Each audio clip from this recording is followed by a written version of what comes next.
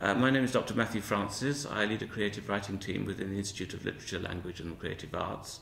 Um, I my, specifically, I teach creative writing, um, mainly fiction and poetry. We have taught different aspects of creative art for a long time at Aberystwyth with um, creative writing, uh, fine art and, and so on. But this is bringing them all together and thinking particularly of its um, vocational usefulness in terms of careers in, in the creative arts, in, in the creative industries generally.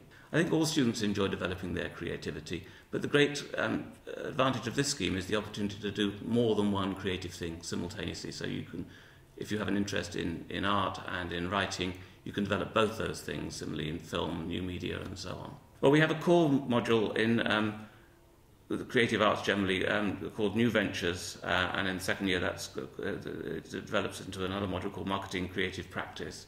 And um, these are about uh, understanding creativity and the role of creativity in the modern workplace. In addition to those, we have modules in creative writing, fiction, um, poetry, drama, and so on, uh, in fine art, in photography, um, in all aspects of, um, Uh, of, of creativity in the, in the arts in the modern world, really. Well, ab above all, uh, it's the ability to work, uh, to understand the, the arts in the modern workplace, I think. Certainly, written and oral, oral communication are very important aspects of that. Um, teamwork, discipline, all these, these kind of skills. But uh, above all, I think it's the, the overview of the role of arts, and, excuse me, of the role of the arts in modern society. Entry requirements are 280 points at A level with a, a B in English. Well, in addition to the normal uh, university uh, academic facilities and IT facilities, um, we have recording facilities for, um, uh, for, for um, radio, television, film, and so on.